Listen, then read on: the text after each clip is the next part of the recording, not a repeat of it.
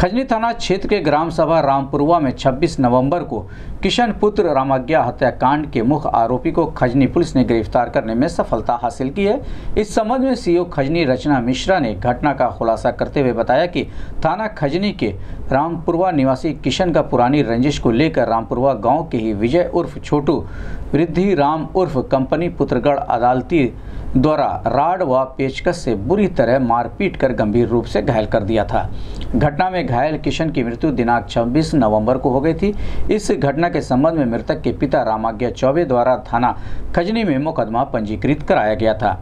इस घटना को गंभीरता से लेते हुए प्रभारी निरीक्षक खजनी द्वारा वांछित अभियुक्त विजय उर्फ़ छोटू को दिनांक 30 नवंबर को नंदापार तिराहे से गिरफ़्तार किया गया तथा अभियुक्त की निशानदेही पर हत्या में प्रयुक्त हथियार लोहे की राड बरामद किया गया।